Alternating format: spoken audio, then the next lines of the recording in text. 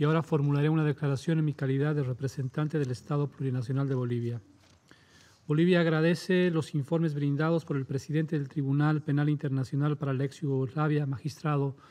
Carmen Jus, el presidente del Mecanismo Internacional Residual para Tribunales Penales, magistrado Theodore Meron, el fiscal del Tribunal Penal Internacional para la ex Yugoslavia y fiscal del Mecanismo Internacional Residual para Tribunales Penales, señor Bramertz, y aprovechamos esta oportunidad también para expresarles nuestro apoyo en el cumplimiento de las labores que se les ha encomendado. De la misma manera expresamos nuestro reconocimiento al trabajo desarrollado por el embajador Elvio Rosselli y su equipo presidiendo el Grupo Informal de Trabajo sobre los Tribunales Internacionales. Asimismo, a la Oficina de Asuntos Legales por la asistencia y cooperación brindada en las facilitaciones del grupo de trabajo.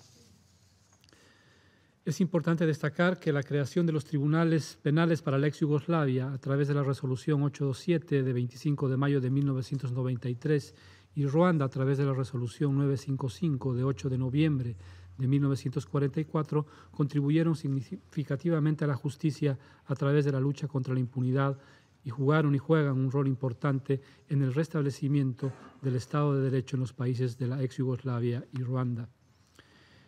En estos más de 20 años de funcionamiento de ambos tribunales, la comunidad internacional pudo constatar que representan una pieza fundamental en la búsqueda de la justicia.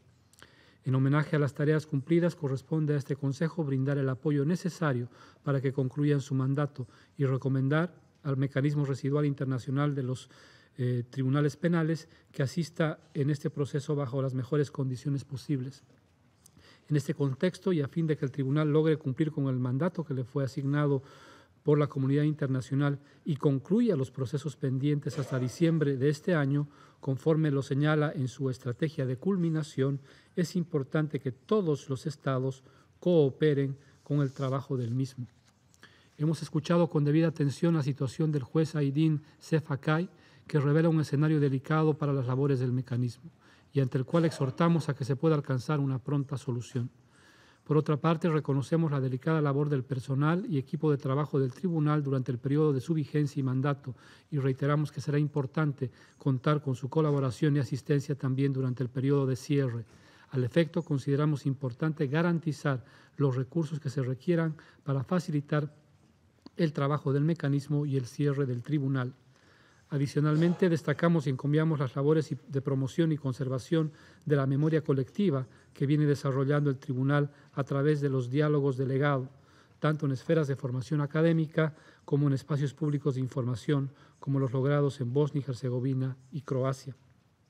Consideramos que la labor de difusión que estos espacios brindan proporcionan un valioso testimonio del esfuerzo que ha realizado el Tribunal para afianzar el derecho a la verdad, a la justicia,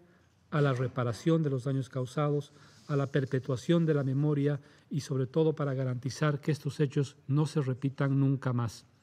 y que en toda circunstancia ni el diálogo y la conciliación comunica vía para la resolución de conflictos, así como lo establece la Carta de las Naciones Unidas. Finalmente, Bolivia pondera los eventos que se llevarán a cabo durante el mes de diciembre, tanto en La Haya como en Nueva York, previos al cierre del tribunal, así como los simposios de alto nivel que se preparan, preparan para este fin